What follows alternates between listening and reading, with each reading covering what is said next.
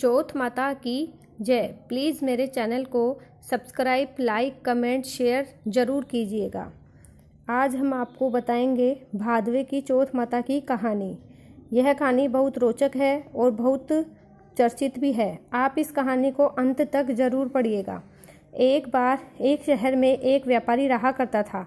व्यापारी बहुत ही आलसी किस्म का इंसान था। उसके पास उसके दादा परदादा की कमाई हुई दौलत उसको विरासत में मिली थी। जिसके कारण वही व्यापारी कोई काम धंधा नहीं किया करता था और उन्हीं पैसों से अयासी किया करता था और अपने सारे मज़े किया करता था। व्यापारी का एक बेटा था, जो व्यापारी की तरह बहुत आलसी और मक्कार था। व्यापारी ने अपने बेटे का विवाह एक अच्छी, सुंदर और सुशील कन्या से किया था। विवाह होने के बाद भी व्यापारी का बेटा कुछ भी नहीं किया करता था। वह घर पर आलसी बना पड़ा रहता था। व्यापारी और उसका बेटा दोनों घर पर ही रहते थे। और विरासत में मिली दौलत को उड़ाया करते थे और अपनी ज़िंदगी के मज़े लिया करते थे और अपनी ज़िंदगी जी रहे थे। व्यापारी के बेटे की पत्नी जब भी बाहर कूड़ा फेंकने के लिए जाती थी, तब उससे उसके पड़ोस में रहनी उस महिला से कहती थी कि, मैंने आज खाने में ठंडी ठंडी और बासी रोटी खाई है।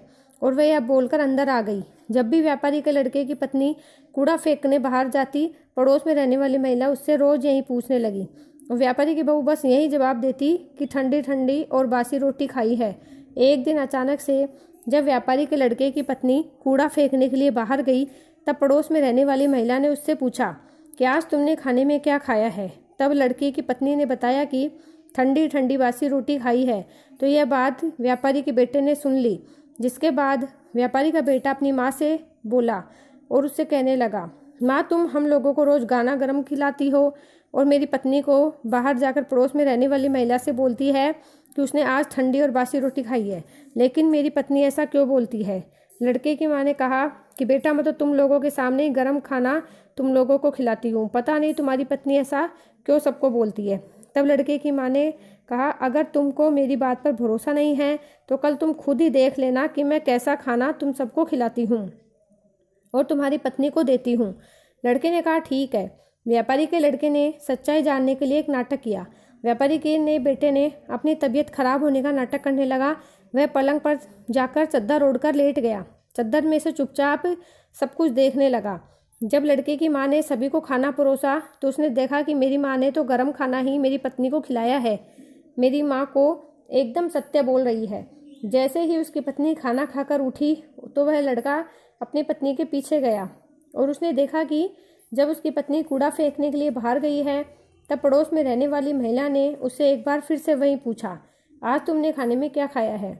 जिसके बाद उसकी पत्नी ने एक बार फिर से उसे पड़ोस, पड़ोसन को वही जवाब दिया, जो हर बार बोलती है, आज मैंने ठंडी बासी रोटी खाई है। पत्नी की यह करतूत देखकर उसने अपनी पत्नी से कहा, मेरी माँ तुम्हें रोज़ गर्म खाना खिलाती है। तुम पड़ोसी को यह बोलती हो कि वह तुम्हें ठंडा और बासी खाना खिलाती है। लड़के की पत्नी बहुत बुद्धिमान और चालाक थी। उसने अपने पति को समझाया कि ना तो आप बाहर जाकर पैसे कमाता हो, ना ही आपके पिताजी बाहर जाकर पैसे कमाते हैं। यह तो आपके पिताजी को विरासत में मिले धन की रोटी है। अगर आप लोग अभी भी नहीं समझेंगे तो एक दिन सारा धन खत्म हो जाएगा और घर में खाने के लिए रोटी तक नहीं मिलेगी। लड़के को अपनी पत्नी की बात सुनकर समझ में आ जाता है कि वह सही बोल रही है। अगर मैंने अभी धन नहीं कमाया तो आगे बहुत ही बड़ी दिक्कत हो सकती है। जिससे वह लड़के ने यह तय कर लिया कि वह पैसा कमाएगा। जिसके लिए व्यापारी के बेटे ने यह तय किया कि वह विदेश जाएगा और विदेश में बहुत सारा धन कमाएगा। व्यापारी का बेटा धन कमाने के लिए विदेश चला जाता है। अपने पति के विदेश जाने के बाद उसकी पत्नी बारह महीने के लिए भादवे की चौथ का व्रत रखने लगती है। धीरे धीरे बाद व्रत रखने और उसके बाद चौथ माता और बिंदायक जी यह तय करते हैं कि अब इस कन्या को इसके पति से मिलवा देना चाहिए, क्योंकि बारह महीने गुजर चुके हैं। जिसके बाद चौथ माता और विधायक जी एक बार जब व्यापारी का बेटा विदेश में अपने गहरी नींद में सो रहे थे तो उसके सपने में जाकर चौथ माता ने कहा, तुम अपने घर चले जाओ, तुम्हारी पत्नी तुम्हें बहुत याद कर रही है और वह तुम्हारा इंतज़ार कर रही है। लड़के ने चौथ माता से कहा, कि मैं यहाँ से कैसे जा सकता हूँ? मेरे यहाँ पर बहुत सारा व्यापार फैला हुआ है। मेरे जाने के बाद उस व्यापार को कौन देखेगा? चौथ माता ने लड़के से कहा कि तुम चिंता मत करो। कल तुम सुबह एक दिए को जलाकर उसके पास बैठ जाना। जिन जिन लोगों को तुमको पैसा देना है, वह तुमको पैसे दे जाएँगे। और जिन जिन लोगों को तुम्हें पैसा देना है, वह तुमसे पैसा ले जाएँगे। इस प्रकार से तुम्हारा सारा व्यापार एक ही दिन में सिमट जाएगा। व्यापारी ने, लड़के ने चौथ माता की बात मानकर अगले दिन वैसा ही किया। जैसा चौथ माता ने कहा, उससे करने के लिए कहा था, वैसे ही किया। उसने अपने हाथ में सूरज दीपक जलाकर बैठ गया। जिसके बाद व्यापारी आए, उसको पैसा दे गए और जिसको उसे पैसा देना था, वह उससे पैसा ले गए।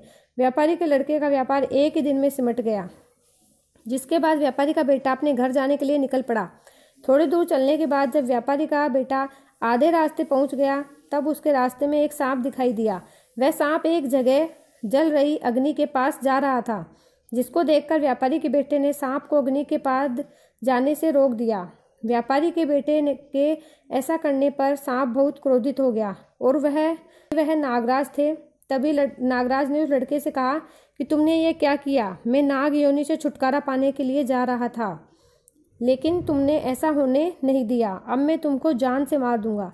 जिसके बाद व्यापारी के बेटे ने कहा कि मैं पिछले एक साल से विदेश में हूँ।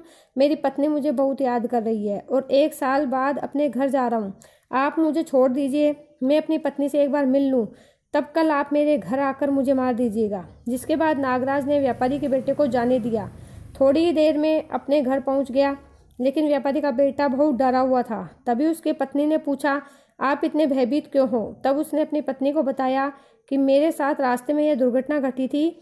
एक नागराज अपनी नाग योनि से मुक्त होने जा रहे थे, लेकिन मैंने उनको जाने से रोक दिया, जिससे वह बहुत क्रोधित हो गए और उन्होंने मुझे मारने का वचन लिया है। कल वह मुझे मारने के लिए आएँगे।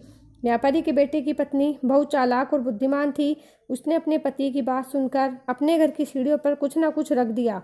उसकी पत्नी ने पहली सीढ़ी पर दूध रख दिया, दूसरी सीढ़ी पर बालू भी खेर दी, तीसरी सीढ़ी पर फूल भी खेर दिए, चौथी सीढ़ी पर सुगंधित इत्र डाल दिया, पांचवी सीढ़ी पर बहुत स्वादिष्ट मिठाई रख दी और जाकर पलंग पर अपनी चोटी लटका कर लेट गई और अपने दरवाजे को खुला छोड़ दिया। वह नागराज जब उसके पति को मारने के लिए आए, तब उन्होंने सीढ़ियों में दूध देखा तो उन्होंने उस दूध को पी लिया और एक ही एक करते सभी सीढ़ियों को सारी चीज़ें खा लिए। तब उन्होंने बोला कि, व्यापारी, तुमने मुझे बहुत पसंद किया है। लेकिन मैंने तुमको वचन दिया था कि मैं तुमको मारूँगा। ज़रूर। अब मैं कुछ नहीं कर सकता। मैं अपने वचन से बंधा हुआ हूँ, जिसके बाद नागराज व्यापारी के बेटे को मारने के लिए सातों सीढ़ी पार करके उसके कमरे के पास जाने लगे। तब वहाँ चौथ माता और बिंदायक जी ने आकर उस नागराज को अपनी तलवार से काट काट कर चारों तरफ़ फेंक दिया, जिसके बाद नागराज का एक हिस्सा लड़के के जूते में चला गया। नागराज ने कहा, मैं यहीं छुपा रहूँगा और कल जब सुबह व्यापारी जूता पहनेगा तब मैं उसको काट लूँगा। लेकिन तभी अचानक से वहाँ बहुत सारी चीटियाँ आ गई और उन्होंने नागराज को देखा कि जूते के अंदर है। तब चीटियों ने कहा कि इसकी पत्नी तो हमें रोज़ कुछ ना कुछ खाने के लिए देती है। आज हम लोग इसके पति की जान बचाते हैं। चीटियों ने नागराज को खा लिया। चीटियों के खाने के बाद चारों तरफ़ खून ही खून फैल गया था। जैसे ही सुबह हुई, तब लड़के की माँ उसके कमरे में आई और लड़के की माँ ने कमरे में खून निकलता देख वह बहुत डर गई और उसने सोचा कि मेरी बेटी की और मेरी बहू को किसी ने मार दिया है। वह बहुत ज़ोर ज़ोर से चिल्लाने लगी। अपनी माँ की आवाज़ सुनकर व्यापारी का लड़का और उसकी पत्नी तुरंत कमरे से बाहर निकल गए। तभी लड़के की माँ ने अपने बेटे और बहू को ज़िंदा देखकर बहुत खुश हो गई। लड़के ने अपनी माँ से कहा, माँ, तुम रो क्यों रही हो? आज तो खुशी का दिन है, क्योंकि आज मेरा दुश्मन मर गया है। लेकिन मेरे जाने के बाद मेरी पूजा की थी और किसने व्रत रखा? लड़के की माँ ने कहा कि, बेटा, मैंने तो कोई व्रत नहीं रखा। तब लड़के ने अपनी पत्नी से पूछा तुमने व्रत रखा था। जाने के बाद बारह महीने तक चौथ माता की पूजा की थी और उनका व्रत रखा था। उन्हीं ने आपकी जान बचाई है। तभी लड़के की माँ ने लड़के से कहा, मैं तो तुम्हारी पत्नी को रोज़ खाना देने जाती थी। तब इससे बारह महीने व्रत कैसे रख लिया? तुम्हारी पत्नी झूठ बोल रही है। मैं रोज़ उसे खाने के लिए चार रोटी देती थी। तो ये मैं कैसे मान लूँ कि तुम्हारी पत्नी ने व्रत रखा था? तब लड़के की पत्नी ने बताया कि माटी में एक रोटी गाय माता को खिलाती थी और एक रोटी ज़मीन में गाड़ देती थी। एक रोटी मैत्रानी को देती थी और बची हुई एक रोटी चार रात को चंद्रमा को अधर्य देकर खाती थी। लेकिन तभी लड़की की माँ ने, लड़के की माँ ने कहा, मैं तेरी बातों का विश्वास कैसे मान लूँ? जिसके बाद लड़के की पत्नी ने कहा, माँ जी, आप गाय माता से पूछ लो। जैसे ही गाय माता से उन्होंने पूछा तो गाय माता ने, गाय माता बहुत ज़ोर ज़ोर से हंसने लगी। उनके मुँह से पलाश के फूल गिरने लगे, जिससे यह बात साबित हो गई। फिर पत्नी ने ज़मीन खोद कर देखा तो रोटी की जगह सोने की रोटी थी।